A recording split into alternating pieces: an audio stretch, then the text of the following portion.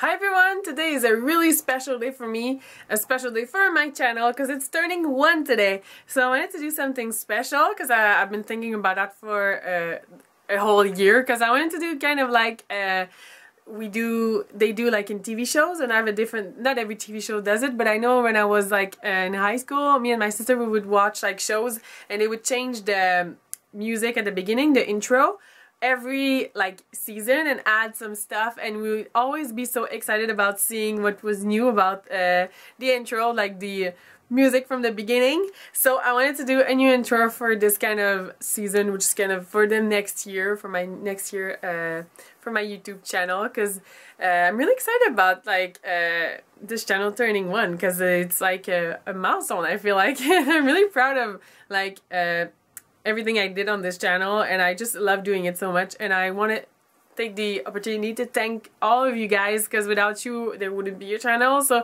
thank you so much for watching my videos and commenting and liking them. So I really appreciate it so much. So I hope we're gonna get to grow even more uh, as a family this year. So I wanted to show you my new intro for the next year so I hope you like it. Hey thanks